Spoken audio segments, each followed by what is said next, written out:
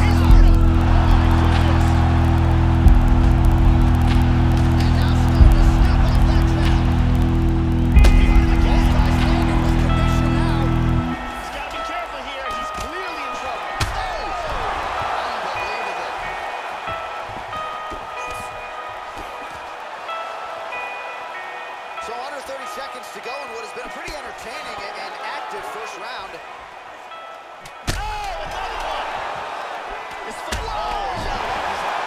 Wow. And just like that, the fight is over. Beautiful knockout victory right as the round.